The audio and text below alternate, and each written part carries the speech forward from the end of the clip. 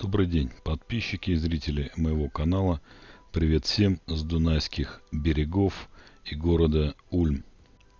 Сегодня речь пойдет о работающем фазоинверторе, а также об электрическом и магнитном излучении. Перед вами чердачное окно, выполненное в форме окружности. На самом же деле это бывший волновой фазоинвертор. Я забрел в один из районов города Ульм. Этот райончик расположен на горе. Весь город виден с него практически как на ладони. Очень много старых домов. Больше всего заметны и тут же бросаются в глаза вот эти вот крыши со шпилями и интересными окошками на них. Люди идут и едут мимо, практически ничего не замечая из того, что их окружает. На вершине расположен очередной дом с угловой башней. Э, на вершине башни э, мы видим шпиль. Подойдем к нему поближе, рассмотрим покрупнее. Ниже расположены дома, явно присыпанные, и вся улица практически такая же. Я подошел к зданию сбоку, посмотрел, что же тут за бетонной стеной. Первый этаж расположен ниже. Сразу видим подвальные окна. Перепад высот показывает явно, что дома стояли гораздо раньше, здания рядом были гораздо выше. И кто, когда это присыпал, ну, как обычно, неизвестно. На этом здании меня заинтересовал треугольник, в центре которого было расположено лицо мужчины. В бетонном наличнике присутствует железная арматура. Еще один крест под треугольником, по бокам шары и две волны. А вот это вот шпиль, который я взял покрупнее. Окна первого этажа, входная дверь, световые приемки подвального помещения.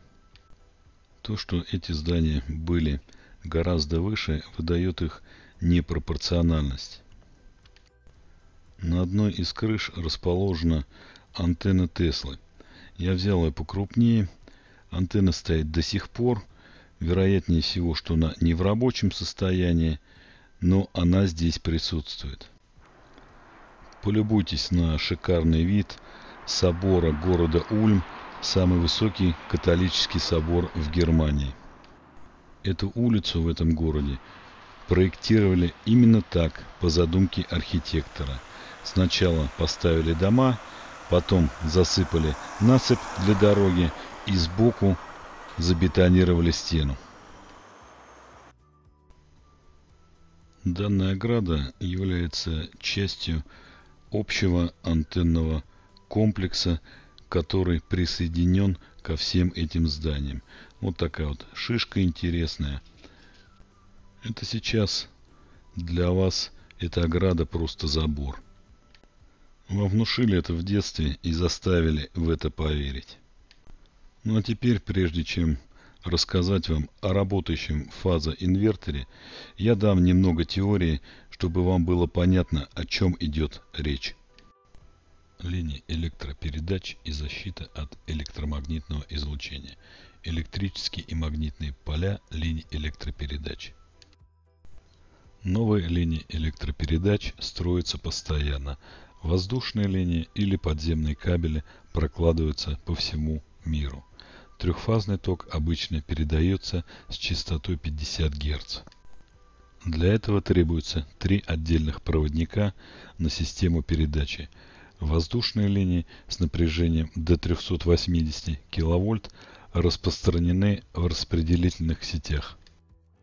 Напряжение между линиями и Землей создает электрическое поле – когда течет ток, вокруг проводников создается магнитное поле. Оба поля имеют максимальную величину под линией электропередач. Транспортировка электрической энергии на большие расстояния в подземных кабелях технически более сложна. Непосредственно над кабельной трассой магнитное поле аналогично полю воздушных линий.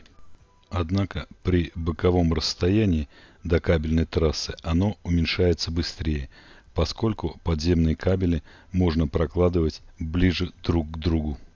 Электрические поля подземных кабелей полностью экранированы землей. Даже электрические поля воздушных линий могут быть почти полностью экранированы, например, стеной здания. Магнитные поля воздушных линий и подземных кабелей экранировать невозможно. Воздействие электромагнитного поля на здоровье человека.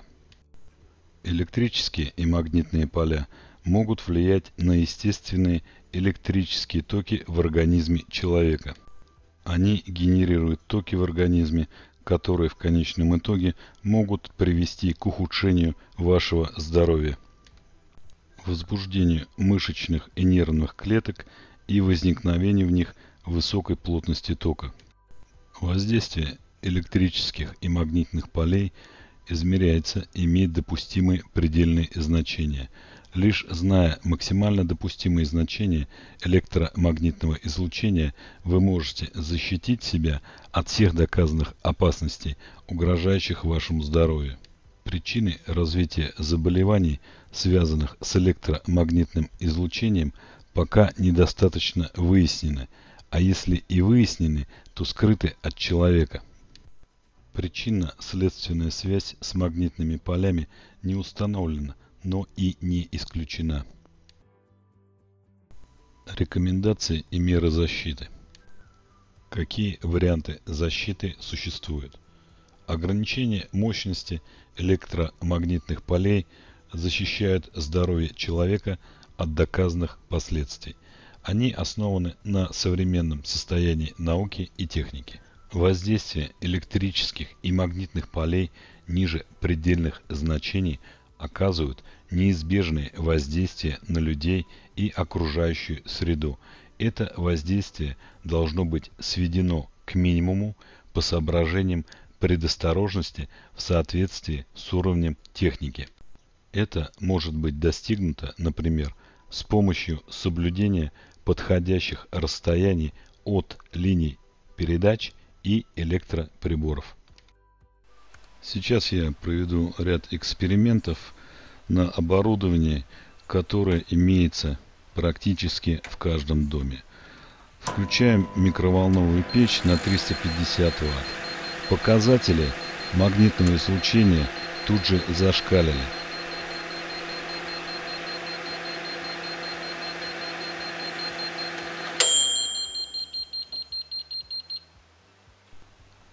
Переключаю мощность на 700 Вт и мы повторяем тот же самый эксперимент.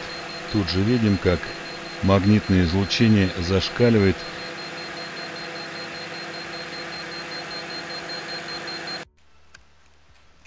Следующий эксперимент мы проводим с домофоном. В домофоне расположен динамик и микрофон. Он подключен к напряжению через трансформатор, там всего лишь 15 вольт. А теперь смотрим, что он нам показывает. Электрическое излучение более 360 вольт на метр. Как только опуская ниже, чуть-чуть микрофону скаканет все-таки и магнитное излучение. Это Wi-Fi или VLAN, как его называют здесь в Германии. Присутствуют оба вида излучения, магнитное и электрическое.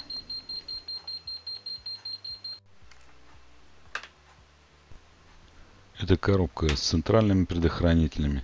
Главный кабель, который заведен в дом и подключен к центральной сети электропитания. Тут же подвожу прибор, видим отчетливо сильное магнитное излучение. Опуская ниже и начинаем замечать, присутствует электрическое излучение. Только что я показал вам дома опыты по использованию прибора на электрических приборах дома. Ну а теперь мы походим к самому фазоинвертору и смотрим, что же он покажет нам. Обычная стена. В нее вмонтирован металлический каркас, от которого идет магнитное излучение. Никаких электрических кабелей рядом просто не присутствует. И мы смотрим, прибор показывает почти 1 микротесла. Вы отчетливо видите при измерении данного прибора присутствие магнитного излучения. Это не какой-то фокус, это обычный эксперимент, опыт.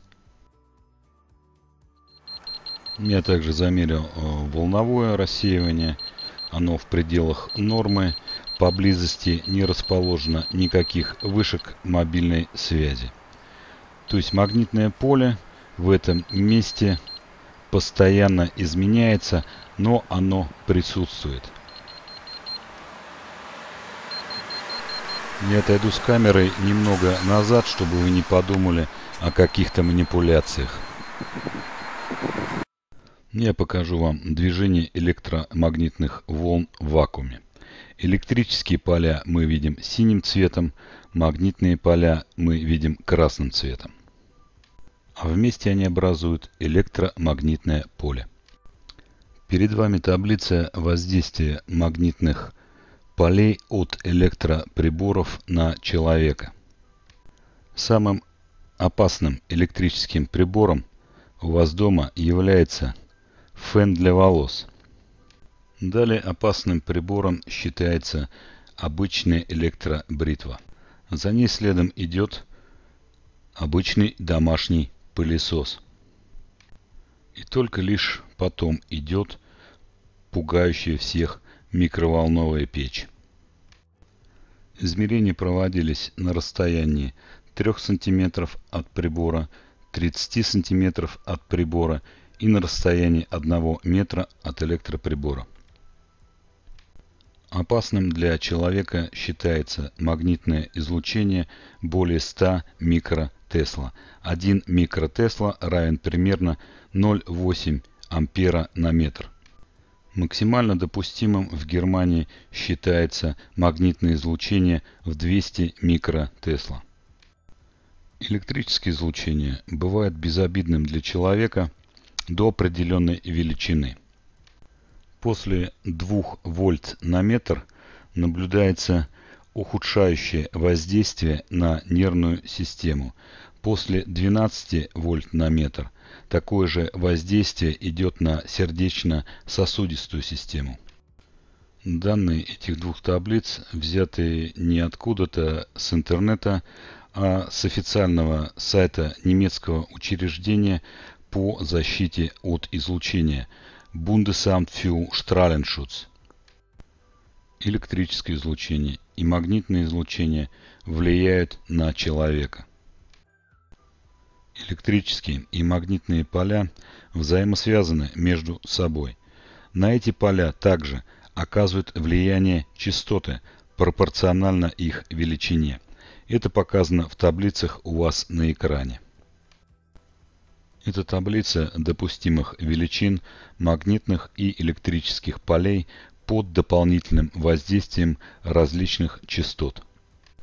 Подвожу итог этого видео вы ознакомились с воздействием различных видов волн на человека. Вы увидели работающий фазоинвертор, выдающий магнитное поле из воздуха.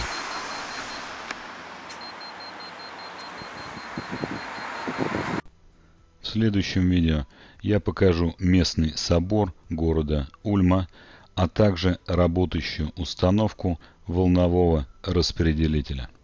Друзья, распространяйте это видео. Пусть люди, идущие на выборы, знают, что их ждет. Поделитесь роликом в соцсетях или отправьте знакомым. Оставьте пару комментариев, это также поможет распространению. Благодарю вас за просмотр. Продолжение следует.